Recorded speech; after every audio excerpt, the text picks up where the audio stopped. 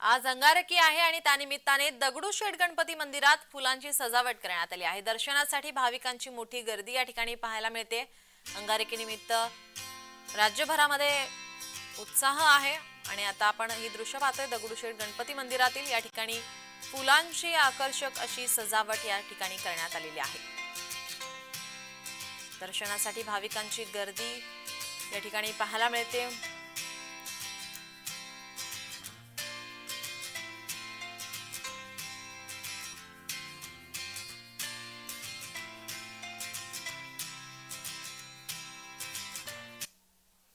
आपले प्रतिनिधी रोहन कदम आपल्यासोबत जोडलेले आहेत. रोहन अंगारकी आहे. त्या निमित्ताने आपण पाहतोय की मोठा उत्साह पाहायला मिळतोय.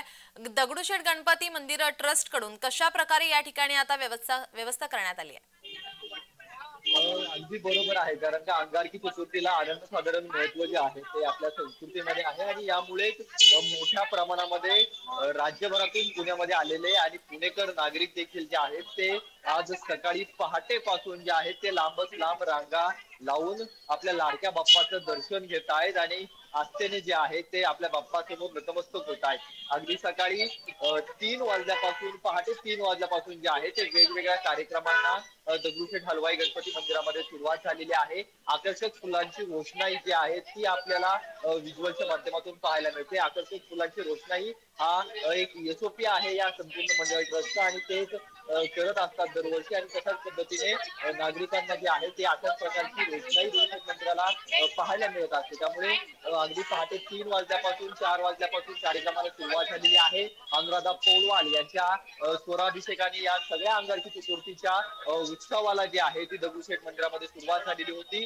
चार वाजल्यापासून सहा वाजेपर्यंत अनुराधा पौडवाल यांचा स्वराभिषेक दगडूशेठ मंदिरामध्ये झालेला आहे. आणि आता आठ वाजल्यापासून सकाळी बा- दुपारी बारा वाजेपर्यंत जे आहे ते गणेश याग सध्या जे आहे ते मंदिरामध्ये सुरू आहे. बाप्पांची पूजा अर्चा सुरू आहे. त्यामुळे मोठ्या संख्येने पुणेकर नागरिक जे आहेत ते येताना पाहायला मिळत आहेत अगदी पुण्यातील मध्यवर्ती भागामध्ये हे मंदिर येतं आणि मध्यवर्ती भागामध्ये मंदिर असताना याची मॅनेजमेंट करणं या गर्दीची मॅनेजमेंट करणं हे खरं तर तारेवरची कसरत या सगळ्या पोलीस अधिकाऱ्यांसमोर असते. त्यामुळे पोलिसांचा देखील कडेकोट बंदोबस्त जो आहे तो बंदोबस्त आपल्याला या सगळ्या मंदिर परिसरामध्ये सध्याच्या घडीला पाहायला मिळतोय. आणि त्यांच्या माध्यमातून जी आहे ती सुरक्षा व्यवस्था तैनात केली धन्यवाद रोहन. आपण दिलेल्या या सविस्तर माहितीसाठी.